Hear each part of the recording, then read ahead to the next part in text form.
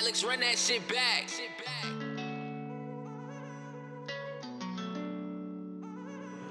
Yeah, yeah. We got a whole lot of drip.